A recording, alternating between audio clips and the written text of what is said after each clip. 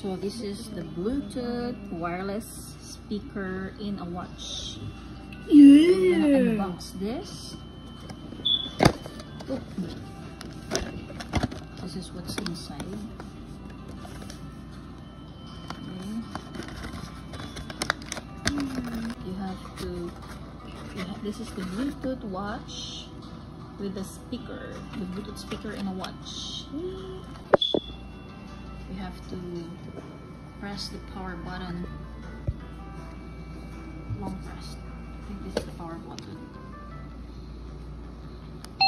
Bluetooth model has been opened. Okay. Okay.